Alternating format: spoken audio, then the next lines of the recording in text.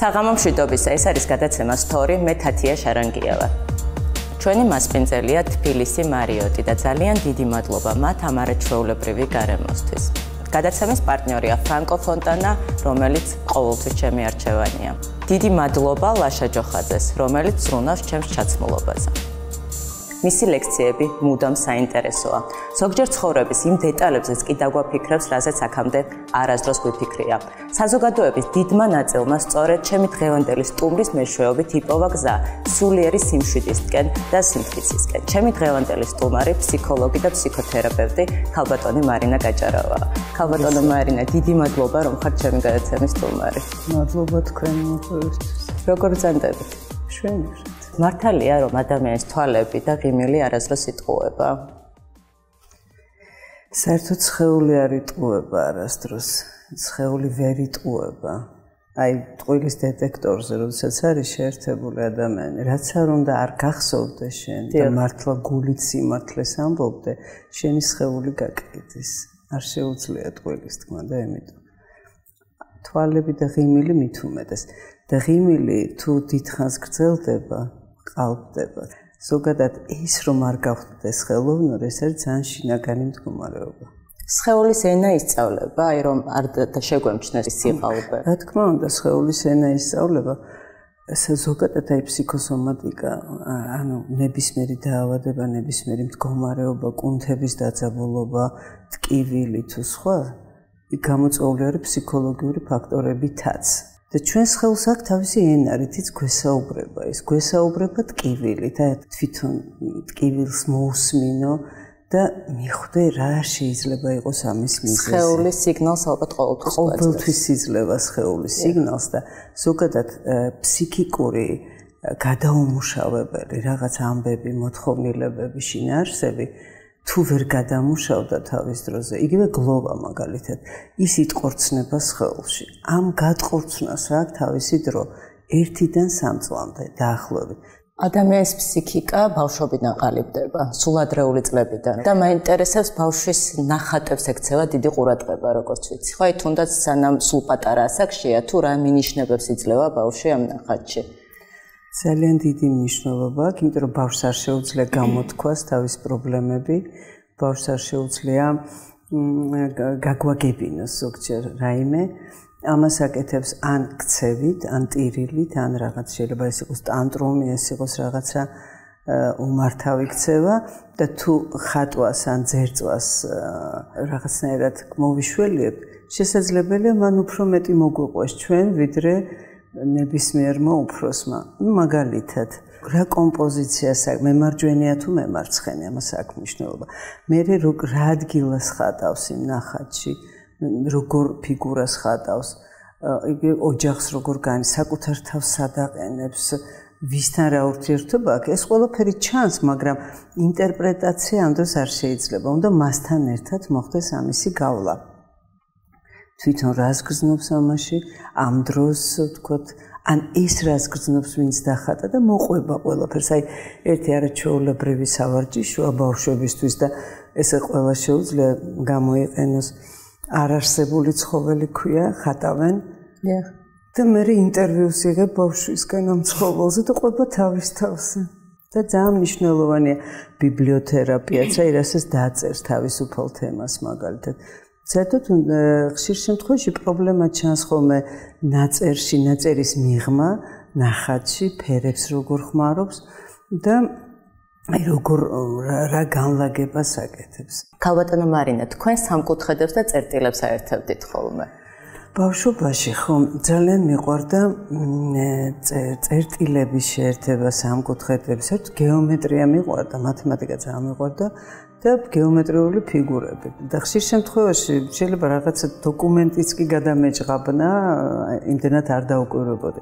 ამას მექანიკურად ვაკეთებდი და მე როდესაც უკვე ფსიქოლოგი გავხდი და ფსიქოთერაპევტი, მე თვითონ გავიაზრე და გავიარე ჩემ სუპერვიზორთან. რეალურად ეს იყო ჩემი თუ რაღაცა შინაგანი მოთხოვნილება დამეკავშირებინა ერთმანეთთან მოვლენები. ნახეთ, იმიტომ რომ სულ შეერთება რაღაცეების. აი მიზესსა და შედეგს შორის კავშირების მოძებნა. იცი ძალიან მნიშვნელოვანია ცხოვრების ხარისხი, რომელიც არ არის დაკავშირებული. ეს ჩვენი ცხოვრების ხარისხი არ არის ზოგჯერ დაკავშირებული მარტო ფინანსებთან, თუმცა ეს მნიშვნელოვანია ან რაღაცა პირობებთან. ეს არის დაკავშირებული შინაგან მდგომარეობასთან. რამდენად ბედნიერი ხარ, რამდენად გაქვს ემოცია, სიხარული, ინტერესი, გაოცება, ანუ ბავშვის ემოციები რამდენად გაქვს. და რა თქმა უნდა, ძალიან საინტერესოა საზრისის ძიება. ცოტა სევდანარებიც არის, მაგრამ აი სიმშვიდე და ბალანსი არის უმნიშვნელოვანესი ემოციები, რომელიც რომლის ფასიც ალბათ აი თქვენ ახალგაზრდა ხართ და შეიძლება ახალგაზრდა ჯერ ამას ვერ გწნობს, რამდენად ასაკთან ერთად მნიშვნელოვანია რაღაცნაირად დაცულობის და უსაფრთხოების განცდა შინაგანი სიმშვიდიდან გამომდინარე. ყოველთვის ასეთი მშვიდი და გაწონასწორებული იყავით? იცით ჩემ შობლებს განსაკუთრებით დედა ჩემი თვლიდა რომ საერთოდ არაფერი არ მაინტერესებდა. ეს იყო მაშინ ჩემი მორგება სამყაროსთან. აი რაღაცნაირად ხო, ამას ხო არაფერი აინტერესებს. ჩემზე ესე ამბობდნენ და არაფერზე არ დარდობს. გამოხატული ინტერესი არ გქონდა. რა თქმა უნდა, დარდობდი. ყველაფერი მაინტერესებდა აბსოლუტურად. იმიტომ რომ საერთოდ ინტერესიანი ყოველთვის ვიყავ, მაგრამ არ მაინტერესებს, რაც მათ აინტერესებდათ, შეიძლება ეს იყო და თუ ეს გარდატეხის ასაკში ძალიან ხშირად იყო ეს რომ აი და მე ბევრი რამე მე საერთოდ ჩვენ ხო ერთმანეთს ვსდით ახლა ჯერ მშობლებმა გამზარდეს და მე ჩემოშვილებმა გამზარდეს ქმარშვილმა ასე ვთქვა.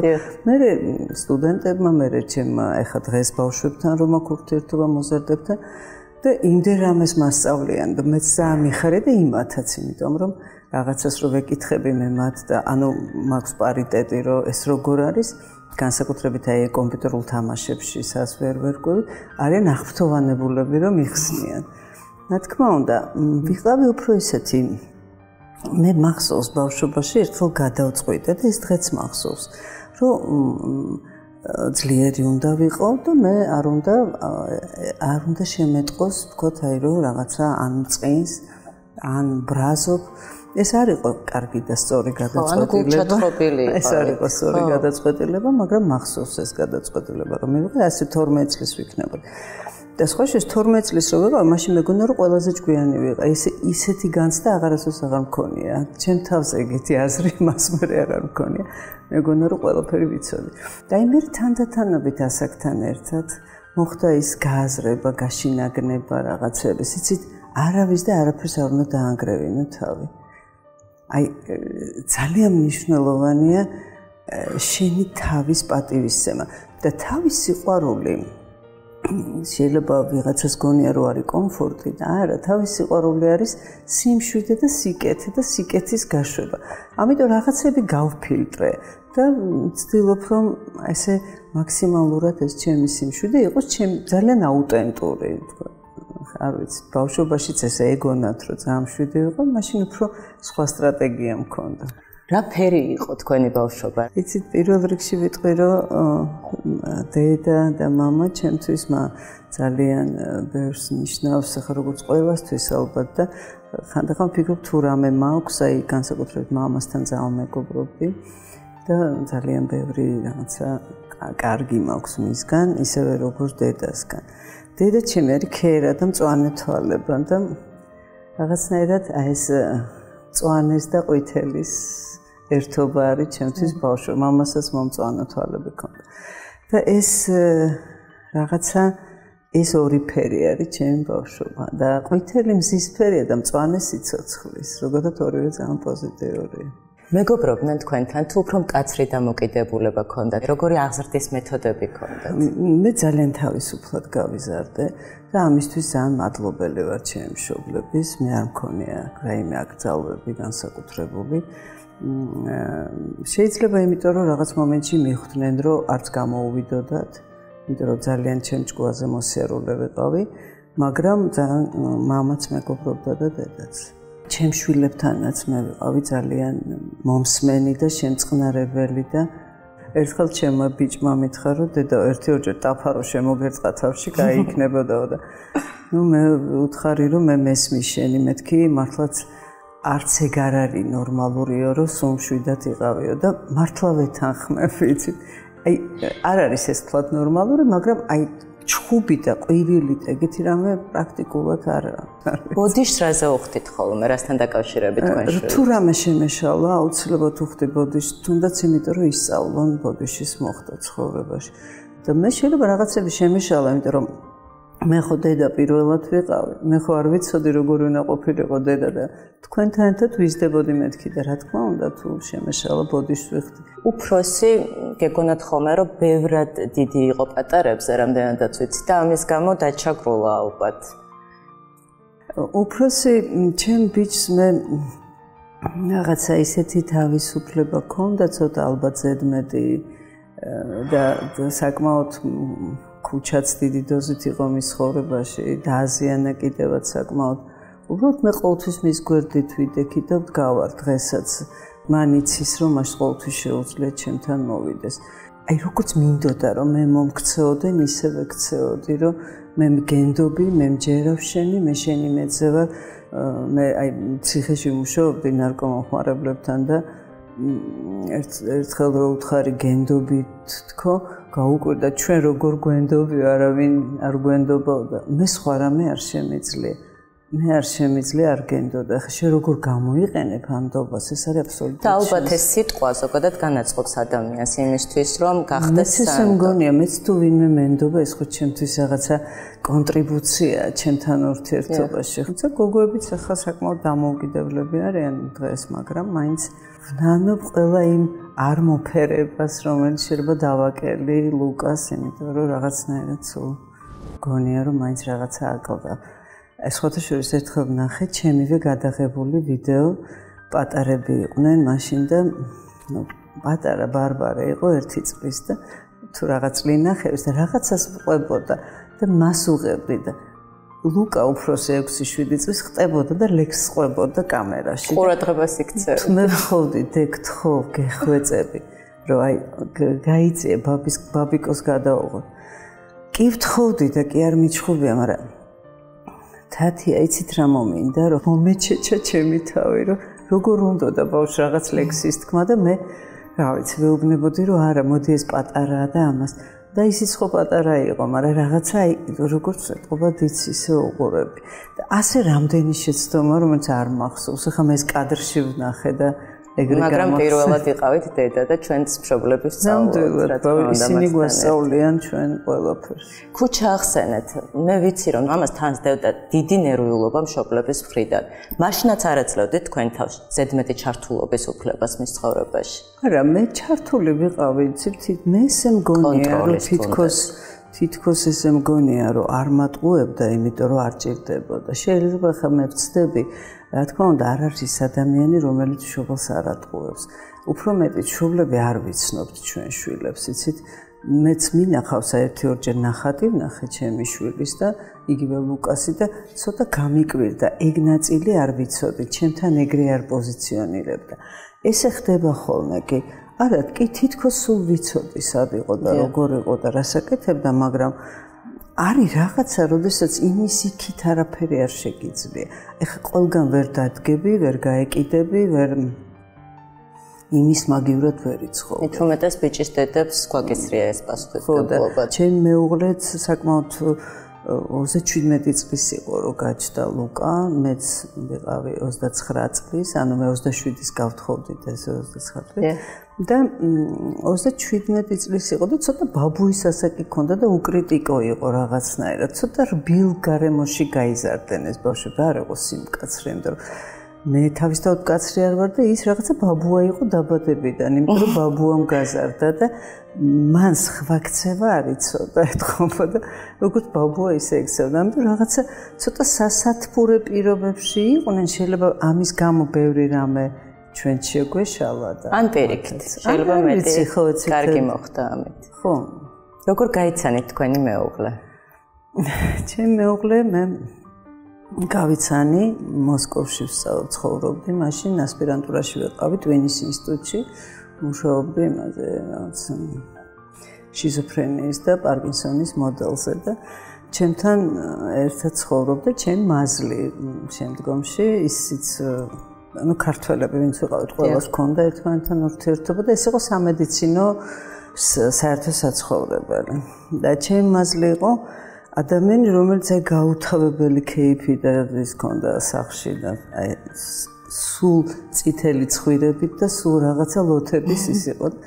და ერთხელ მეუბნება, რომ ისე თუ კარგად მოიქცე, ჩემ ძმას გაგირიგებო და მე ვთქვა, აი შენი ძმა რა უნდა იყოს, რომ ის მომეწონოს თქვენ, თუ რა რაღაც ეს უსაყვარლესი ბიჭია ეს ჩემ მაზი და არაჩვეულებრივი ადამიანი, მაგრამ რაღაც ეს პერიოდი რომ და მე მოხდა ისე რომ მართლაც ერთ დღეს მე და ერთი ჩემი მეგობარი მივედით ასთან ჩემ მასლთან რაღაც სადღესასწაული იყო კარზე დავაკაკუნე და კარი გააღო ჩემო მეუღლემ და პირველი რომ დავინახე ვიფიქრე ესეთ ნორმალურ საფრთხეს ჯერ ამ ოთახში მე არ შემხედრია თქო და ესე დაიწყო მე რაღაც იქ ძალიან დაუმეგობრდით და ესე დაიწყო ჩვენი ურთიერთობა ბევრი საერთო ინტერესი აღმოგაჩნდა ძალიან ბევრი ხო ის ფიზიკოსია ფიზიკის ინსტიტუტში იყო და ძალიან ხელოვნებაში, კარგად მუსიკა ხელოვნება და ეს ჩემთვის რაღაც ის იყო საინტერესო. და რაღაცა ძალიან დღემდე ძალიან ჩემთვის უძვირფასესი ადამიანია და თან კიდე პირველი მეგობარი.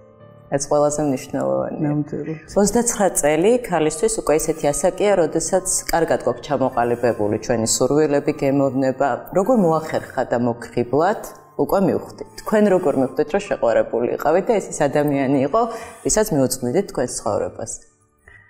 ისეთ რაღაც თავისთავად მოხდა, ხა ესე რაღაც შეგრძნებები თუ შეიცვალა თქვენთვის? კი, რა თქმა უნდა, ეს ძალიან ძვირფასი გახდა ეს ადამიანი ჩემთვის.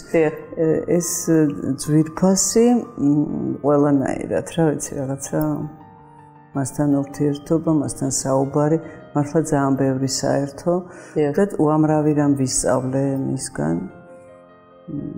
მახსოვს ერთხელ მუზეუმში ვიყავით და რაღაცა ნახატზე მესაუბრებოდა და ვფიქრობდი რა რა ბედნიერება ამეთქი რომ ხაი რა შუაშია ფიზიკოსია და ეს საიდან იცის. ჩემთვის ძალიან მნიშვნელოვანია ეს ინტელექტუალური რაღაც ველი. ამ საუკუნის სცენია რომ ძალიან ბევრი ოჯახი ინკრევა არა მხოლოდ საქართველოს თელ მსოფლიოში. თქვენ როგორც ასე იღბლიანად დაქორწინებული რჩევას მისცემდით ახალგაზრდებს როგორ შეიძლება შენარჩუნდეს ბალანსი ოჯახში სამი რამე არის მთავარი. ეს ჩემი აზრი არის მე ვეთანხმები. პირველი არის ადამიანი მიიღო უპირობოდ და პოზიტიურად. ადამიანი. ქცევაზე ჯერ არ ვლაპარაკობ. ქცევა ისეთი რამეა, რომელიც კორექციას ხშირად საჭიროებს. მაგრამ მე თუ იარლეხს მივაწებებ, რომ შენ თქვათ მატყუარა ხარ, თქვათ რაღაცნაირი ხარ, უზრდელი ხარ, ამ შემთხვევაში შანსს არ ვაძლევ, მაგრამ თუ მე მას ვიღებ, მიყვარს პოზიტიურად, მაგრამ ქცევას განვიხილავ როგორც უზრდელობას ან თქვათ ტყუილს, ეს აბსოლუტურად განსხვავებული რამეა. მეორე ეს არის ემპათია, აი თანაქსი ფეხსაცმელი ჩავიცვა, იქნებ როგორ უჭირს. აი ეს არის ძალიან მნიშვნელოვანი. მისი თვალებით შევხედო სამყაროს და მესამე და უმნიშვნელოვანესი არის გულწრფელობა. აი ეს გულწრფელობა არის ძალიან კარგი და მე პირადად იცით, აი მე თვითონ რაც შეიძლება გამომადგასავით, მოდი ესე ვიტყვი. როდესაც რაღაცა იგივე პრეტენზიები ქონდა ხოლმე ჩემ მეუღლეს ჩემთან მე იმ წუთას ჩემ წილს რაც იყო იმ პრეტენზიაში ეგრევე ვეთანხმებოდი და ამით განიარაღებას ვაკეთებდი აი ნახეთ იმიტომ რომ აი თქვა ადამიანი რაღაცა რო არ მოწონს და მედავება რაღაცას ხო ამ შემთხვევაში ის ხო რაღაც ჩემგან გამომდინარე არის ხო? ну კი შეიძლება იმას თავის პროექცია აქვს, თავის რაღაც აქვს, მაგრამ თუ იყო ჩემი წილი, აი ამისი აღიარება არ მიჭირდა, რომ ხო ხო მართლა რა მეც კიდე რა მომივიდა, რომ ეს როგორ ვერ გავითვალისწინე. იმ წუთას ვამბობდი. ანუ აი თუ იცით ორი ოჯახი რო იყო ესეთი ამბავია, ერთი სუჩხუბობდა ერთი ოჯახი და მეორე შვიდობიანად იყო და მაჩხუბარ ოჯახში ქცოლმა ქმარი გააგზავნა ერთი მოусმინე ნახე რასაკეთებენ რომ არასდროს ჩხუბობენ და წავიდა ეს ნახა შეესრო ფაქტს. მამაკაცი გამოედო რაღაცა ლარნაკს დაიმტრა და ქალი გამოდის და ისა ქმარი ბოდის უხდის ცუდად გავედეო და ცოლიობნებ ალბათ მეც ცუდად დავდეო ეს ლარნაკიო რომ მობრუნდა ეს კაცი სახში ცოლმა კითხა რა ნახეო და ჩვენ ორივე მართლები ვართო და იქ ორივე მტყუანია. აი ცით მტყუანზე არ არის. ჩემი წილი არ შეიძლება არ იყოს იმაში, მე თუ თქვენ ნერვები აგიშალეთ რაღაცაზე, ან რაღაცა არ მოგწონ. და ასე უფრო შესაძლებელია საუბარი. ეს არც დათმობა, არც რაღაცა ვთქვათ, ურთიერთგაგება. ეს არის უბრალოდ იცით რა არის?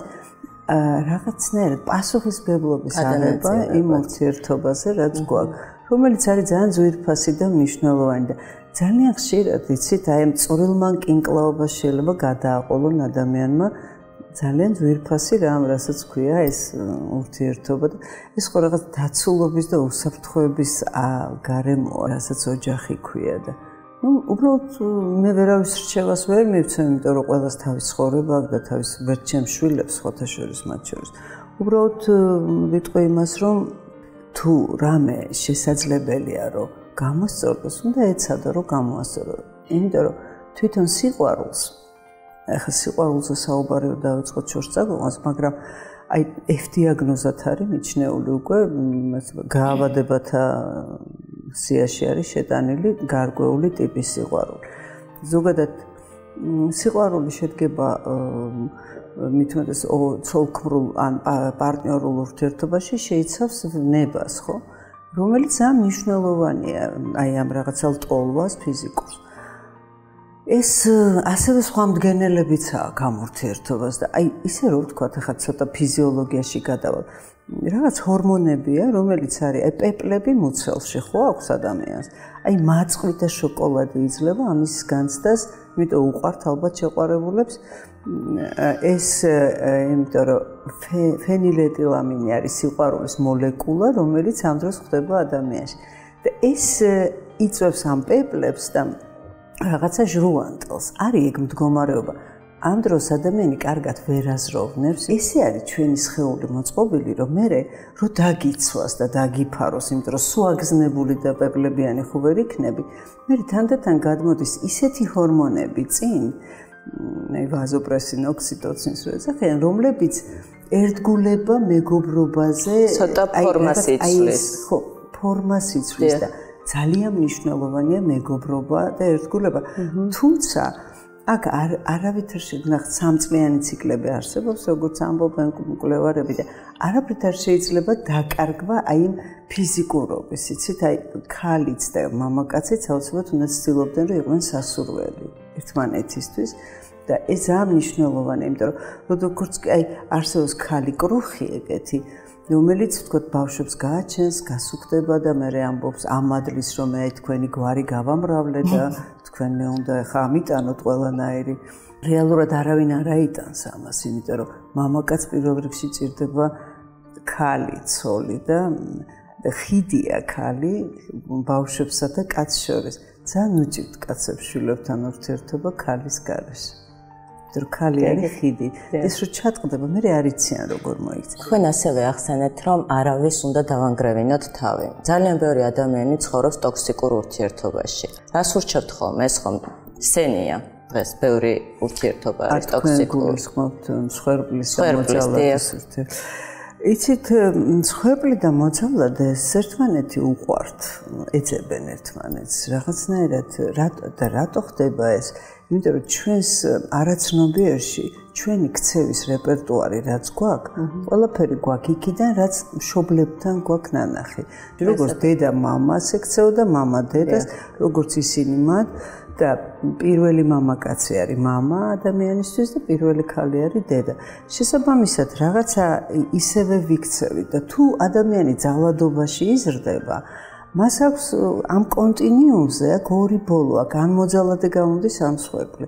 და მე თუ სხერფლი გამოვიდა, ის მოძალადეს ეძებს, თუ მოძალადე ის სხერფს და და რატომ ეძებს იცით მაგას? იმიტომ რომ აი ეგეთ აი მაგალითად შეიძლება ადამიანი მე მყოლია შემთხვევაში რამოდენიმეჯერ გაყვა ნარკომანხმარებელს და ცოლად და არ არადერასოს ვერ მიხვდა და იყო თვითონ გაკვირვებული რომ ყველაზე მეტათო მეშინია მაგის და მე ცულდა იმიტომ რომ мама დაეღუპა ნარკოტიკით და შესაბამისად მაგიტომაც არ უნდა მაგრამ ნახეთ რა ხდება ის ველი რაც იქმნება იმ ადამიანთან არის ნაცნობი უსაფრთხო დაცული, იმიტომ რომ მამის მაგვარი ველია. აი ამ შემთხვევაში ხშირად, იმიტომ ამბობენ ფსიქოანალიტიკოსები, რომ ხშირ შემთხვევაში მამაკაცი დედის მაგვარს დაეძებს ჭყალებში და ქალიც მამის მაგვარს. საინტერესო. და აქედან გამომდინარე, მათ ჭირდებათ პირველ რიგში ფსიქოთერაპია, გაცნობიერება ერთსას და მეორეს. ნოძალადაც ცოდოა ძალიან და მსხვერპლიც. აი ჩოქბჯენში ყოფნა არის ძალიან ტოქსიკური.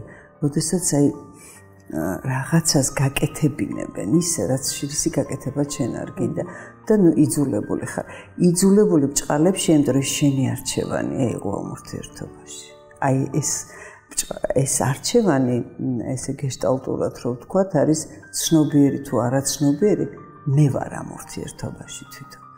პანიკურ შეტევებზე მინდა აუცილებლად გითხოთ, რადგან ესეც ძალიან გავრცელებულია. ეს რისი გამოძახილია? შეიძლება არ იყოს, როგორც ვიცი, გუშინ მიღებული სტრესისგან, არ დაძაბვისგან, არის უფრო დაგროვილი ინფორმაცია ქვეცნობიერში. რა შემთხვევაში იწყება? პანიკური შეტევა იმით არის განსაკუთრებული, რომ ის სწორ ადგილას ხდება. ესე შეიძლება ზიხარ რაღაცა სალონში ფჭილებს იკეთებ და უცხოდ აიწყო.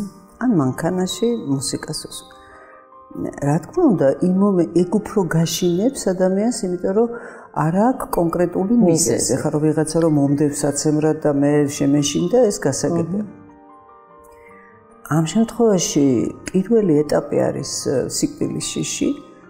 მე გაგიჟების შიში რო არ გაგიჟდეს ეშინია და მესამე ეტაპი არის შიში შიში. ეშინი არ შეეშინდეს, იმიტომ რომ აი ახლა არ დამეწყოს და ანუ სუშფუთვაში ცხოვრობს. რაღაც მომენტში ხვდება რომ არც კვდება, ხვდება რომ არც გიждდება და ნუ მე ამ შიშთან უწევს გამკლავ. ე პანიკური შეტევის სათავე არის ხოლმე წეგან რას თქვი. დაახლოებით 1 წლის წინ ან 3 წლის ფარგლებში მომხდარი რაიმე ამბავი. აი თქვათ დანაკარგი ადამიანური. აი შეიძლება ვინმეს გარდაცვალება. და მაშინ რა კარგად ვიყავი ეძახის ან ვიღაცას დაშორდა საყვარელ ადამიანს? მაშინ აფერი არ მჭირდა თითქოს ყოჩაღად გადავიტანე ყველა მეუბნებოდა რომ აი რა კარგია რომ არ გეტყობა. ეს გაიტყორცნა სხეულში და აი დაახლოებით სიმპტომის გამოჩენას დაჭირდა რაღაც დრო. და თუ დააკვირდებით თუ დააკვირდება ადამიანი ვისაც პანიკური შეტევა თქვათ ოქტომბერში დაეწყო ან სექტემბერში ან როდესაც და ნახავს ის რა შეიძლება იყოს ამის მიზეზი. პირველი არის რა, რომ ამ შემთხვევაში შიში არის ჩვენი ძალიან ახლო მეგობარი. თუ შენ შიშთან დაიწყებ კონტაქტს და შიშ შეხედავ როგორც რაღაცისგან შენი გადარჩენა უნდა, ეს არის სპეციალური ბიოლოგიური პროგრამა. ეს არის რაღაცა გაშვებული, როგორ დაავადება ანებისმიერი იმისთვის, რომ წყალებში რაღაცისგან გადარჩე. ანუ ამის გაცნობიერებით ძალიან ბევრი რამის შეცვლა და მოხსნა შეიძლება. мама მასწავლა ცურვა, როცა ვიყავი დაახლოებით 3-4 წლის და მახსოვს ეს თი რამე მითხა, რომ ტალღაზე არ ყოველთვის ეცადე, რომ ზემოდან დაჭდეო, იმიტომ რომ თუ მოხდი ისეთ ადგილასო წინო, ისეთ დაჩაგითრებსო. და გაფორთხებსო და ეს ცხოვრებაშიც გამომადგა, იმიტომ რომ გააჩნია სად დგები. აი ის სადაც დგები, ის ადგილი ხშირ შემთხვევაში შეიძლება გაყვე ამ ტალღას და გადარჩე და შეიძლება ტალღას აფორთხებინო თავი თუ აფორთხეალებინო. მაგრამ თერაპიის დროს პრაქტიკულად ის ტალღა აღარ მეორდება და შეიძლება ძალიან გაიშვიათდეს და მე ვისწავლე კონტაქტი ამ შიშთან. მე შემიძლია მას დაველაპარაკო. არა, მოხვედი, ხო? ხო, კაი ახლა. გაიმარჯვა მას. შიში თქვენი მეგობარი არასდროს ყოფილა? იცით რა, მე არ მეშინია შიშის. მე არ არ შიშა რა ესე არ ვარ. რაღაცა რაციონალური შიშები მქონია ალბათ, როდესაც რაღაც რაღაცა ხდება, მაგრამ ესე რომ რაღაც ფობიკური არა. უბრალოდ ხო, თუ რამის მეშინია, იმას უყურებ. ჯერთი სხეული უნდა შეისწავლონ. რა ადგილს ეშინია უფრო ყველაზე მეტად რისი გეშინიათ? დღეს?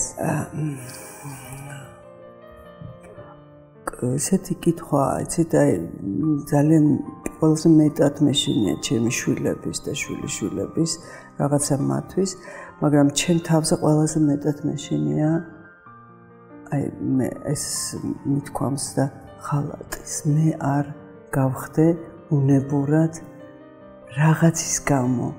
და ეს ფოტოშორის ერთხელ მახსოვს ციხეში ნახე ადამიანი რომელმაც 20 თუ მეტი ადამიანი სია გადასცა დასაჭერად იმიტომ რომ მისი შვილი არ დაეჭირათ. და მე ვნახე იმ ადამიანის ტანჯვა. რომელიც გახდა მოღალატე. როგორიც რომელიც გახდა მოღალატე და აი რაღაცა ცუღმერს თხოვ რომ დამიფაროს ამისგან რომ მე ვინმეს ადამიანის ხვას ვერ ღალატობს, ღალატობს ღმერთს და თავის თავს. ამ ორ ინსტანციას თუ ღალატობ იქ სხვა რაშვაში. აი რაღაცნაირად ამაზე მიფიქრია და ყველაზე მეტად ალბათ მინდა რომ რაღაც ჩემი შვილები შვიდობიანად ცხოვრობდნენ. თავისი არჩევანით, თავის ცხოვრებით, როგორც უნდათ ისე მე, რომ ღმერთმა მშვიდობა მისცეთ. სამყაროს ღმერთს ყველაზე ხშირად რისთვის ეუბნებით მადლობას? ყოველი წუთისთვის. აი ახლას თქვენ რო გიყურებთ, თუნდაც მადლობა ღმერთს. მე 64 წლის ვარ და ასაკთან ერთად ყოველი დღე საჩუქარია. ყოველი დღე გათენებული, ყოველი ღამე საჩუქარია. დიახ, მადლობა. რომ არ იცოდეთ თქვენი ბიოლოგიური ასაკი, რამდენი წლის გეგონებოდათ საკუთარი თავი? რაღაც 35-40 მიფიქრე. კი, სხვათა შორის მქონია ეგეთ შემთხვევა, რომ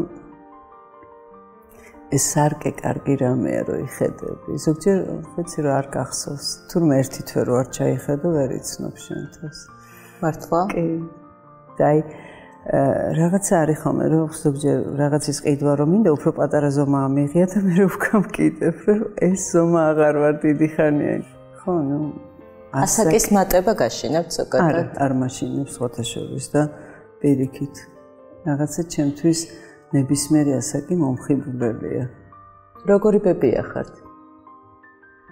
ახერხებს დრო დაუთმოთ მათ. სამწუხაროდ ვერ. უბრალოდ ეს რაღაც ძალიან მიყვარს და ერთადერთი აი ჩემი პატარა სერაფიმე რაღაცას მიგზავნის ხოლმე ფოტო 4 წლის არის ფოტოს რომ წითელი რაღაცა საბარგო მანქანა უნდა რაღაცა და მე ვცდილობ რომ სასწრაფოდ ეს შეუძინო რაც უნდა. რაღაცა ხო ბები მაინც როგორც ბებია ახსდაში ვერ ვიღებ სამწუხაროდ მონაწილეობას მაგრამ განებივრებას ვცდილობ თითქოს ვაკომპენსირებ ჩემ დანაშაულს რომელიც მათ წინაშე მაქვს იმიტომ რომ სამწუხაროდ ვერ ვახერხებ. მაგრამ რაღაცა სუმაკ ჩემი კონტაქტი მათთან და თქვენ თუ ყავთ ფსიქოლოგი? რა თქმა უნდა ყავს ფსიქოლოგი სუპერვიზორი ესე ვთქვა ჩვენთან კლინიკაში გვაქვს წესად. კვირაში ერთხელ გვაქვს ინტერვიზიები რაც გულისხმობს თითოეული ჩვენთაგანს რაც გვიჭირს იმის გამოტანას და ეს ამნიშნულოვანია იმიტომ რომ როდესაც რაღაცაზე შეკიდული მდგომარეობა გიჩნდება, თერაპიას გულისხმობ. ისედაც ცხოვრების უსაკითხებშიც, მაგრამ უფრო თერაპიის დროს შესაძლებელია რაღაცა დაუმუშავებელს მოხდა ის და რეზონირდა დაუმუშავებელ შინაარსთან, რომელიც თითქოს თითქოს გონია რომ ყველაფერს იცი შენ თავზე და მაინც აღმოჩნდება რომ რაღაცა არის ძალიან ძალიან სადღაც ღრმად მიმალული. და ამიტომ ეს ამ მნიშვნელოვანი პროცესია. მე მგონი ყველა თერაპევტ ჭირდება თერაპია. აინტერესო პაციენტები ხშირად ხდებიან დამოკიდებული ფსიქოლოგზე ამ შემთხვევაში თქვენზე ну, ესეთი და თარ მახსოვს რომ ვინმე ჩემზე ძალიან და არ რამოდენიმე შემთხვევა იყო რომ დავმეგობრდით და იქ მორჩა უკვე თერაპია. ეს ადამიანები გახდნენ ჩემი მეგობრები. სხვა შეს აი ციხის ბიჭებიც ჩემი მეგობრები არიან და ის არ არიან პაციენტები.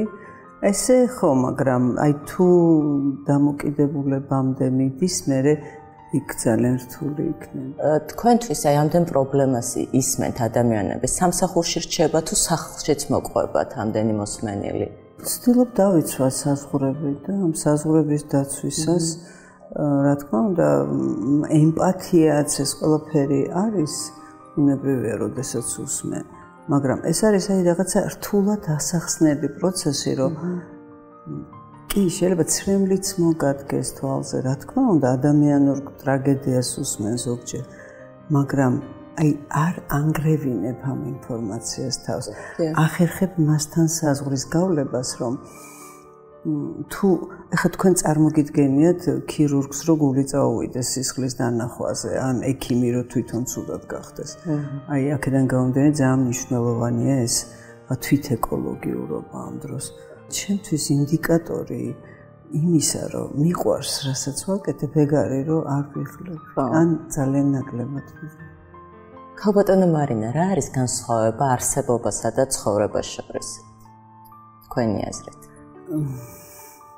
ჩემი აზრით მაინც არსებობა არის უფრო ჰედონისტური ჭამასმა და მხოლოდ სიამოვნების მიღება, იმიტომ რომ სიამოვნების მიღება ადამიანს მოიყოლებს და აკარგინებს სიამოვნებას, რისავს ეს ძალიან ეს და მარტო ჭამასმა ხალუარსაბის პროტოტიპი ეგ უფრო არსებობა. ცხოვრება არის მშვენიერი.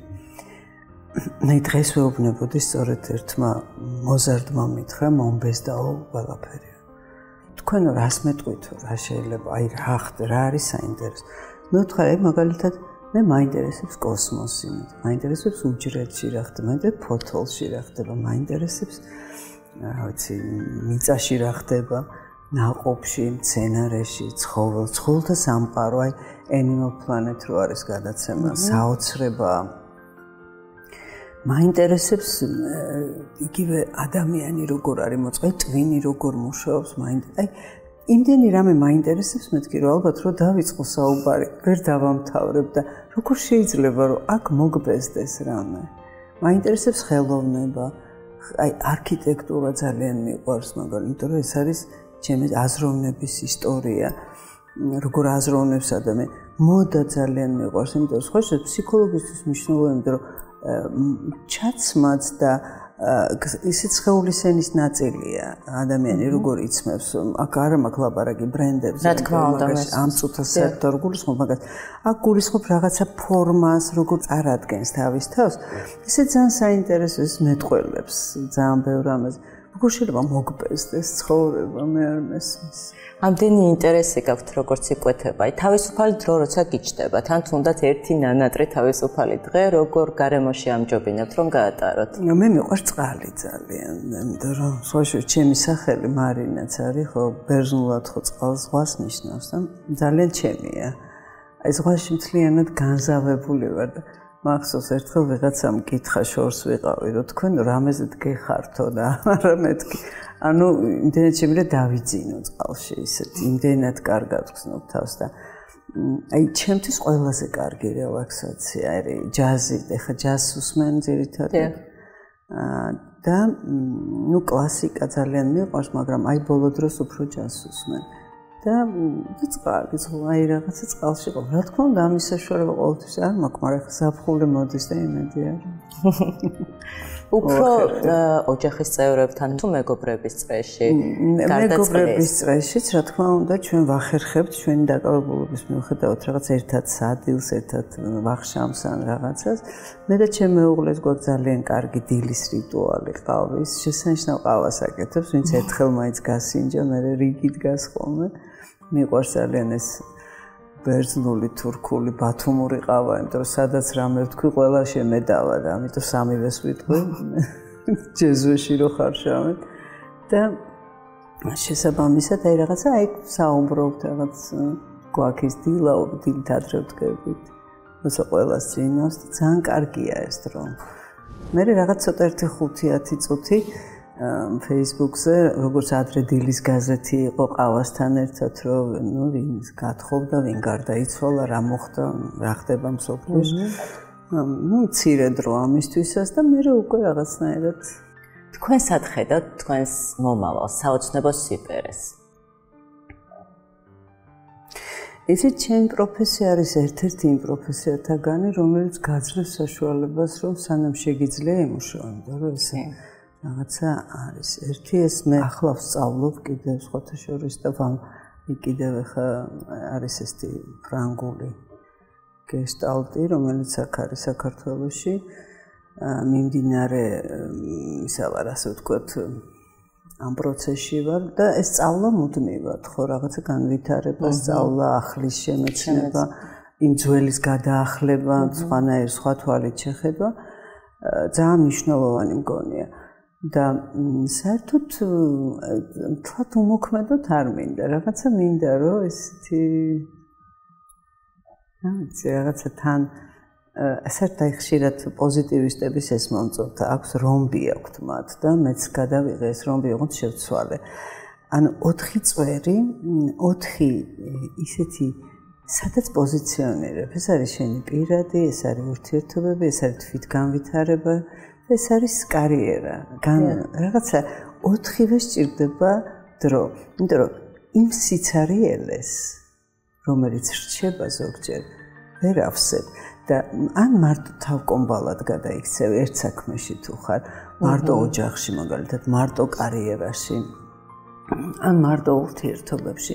ყველა ეს ბალანსი, ჩემი საყვარელი სიტყვა ტყუილა არ არის, იმიტომ რომ ეს ბალანსი არის ის ძალიან მნიშვნელოვანი. შეიძლება დაიკლოს რაღაცა მოიმატოს, რაღაცა მოიკლოს, მაგრამ ზუსტად მაინც რაღაცა სხვადასხვა მიმართულებით და შინაგანი პოზიტივი რაც ასე გახასიათებთ.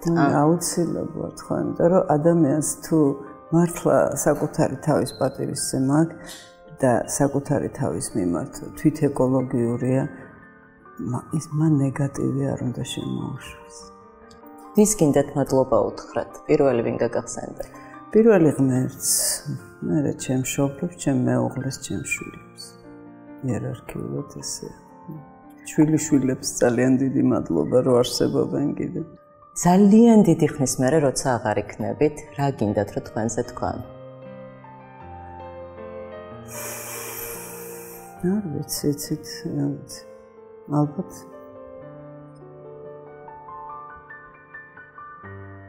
ამც ამც დავიფენ მაშინ შვილებმა და შვილიშვილებმა ალბათ რომ სიყვარულით მომიგონონ და ალბათ რომ არიყვნენ ამის გამო გულდაწყვეტილები, იმიტომ რომ ეს ამბუნებრივია. ალბათ ის რომ სავსე ცხოვრებით იცხოვრონ თვითონ და ეს ციკლია ცხოვრება და ძალიან ბუნებრივია მოსვლაც და წასვლაც. ძალიან დიდი მადლობა მინდა გითხრათ ასეთი საინტერესო სასიამოვნო საუბრისთვის. გულწრფელად დავისვენე და მივიღე ეს დადებითი ენერგია რაც გახასიათებს. დიდი მადლობა. რომ იყავით ჩემი გადაცემის სტუმარი.